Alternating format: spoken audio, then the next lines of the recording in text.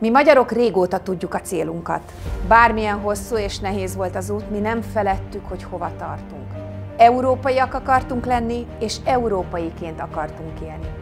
Ez lebegett a magyarok szem előtt. Jöhetett válság, megszállás, háború és forradalom. Éltünk és haltunk érte. Szent Istvántól egészen az EU csatlakozásunkig, ezer éven át. Amikor iskolába vittük a gyereket és befizettük a gázszámlát. Amikor végig dolgoztuk a napot, a hetet, a hónapot és az évet. Hittünk benne, hogy jobb lesz, hogy élhetünk európai jólétben, mi magyarok is.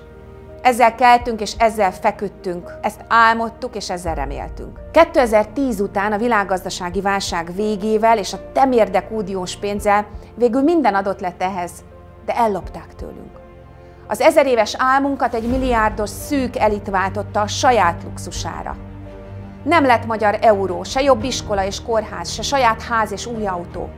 Csak egy válság, aminek nem látjuk a végét. Elértéktelenedő bérek és nyugdíjak, hétszeres rezsiemelés és hetente emelkedő, már a megfizethetetlen élelmiszerárak. Egy pillanatra úgy tűnt, hogy örökre elvesztettük a reményt. Elhozzuk a reményt, és visszaadjuk az ország hitét, hogy lehet európai jólétben élni, és lesz európai Magyarország. Elhozzuk a reményt.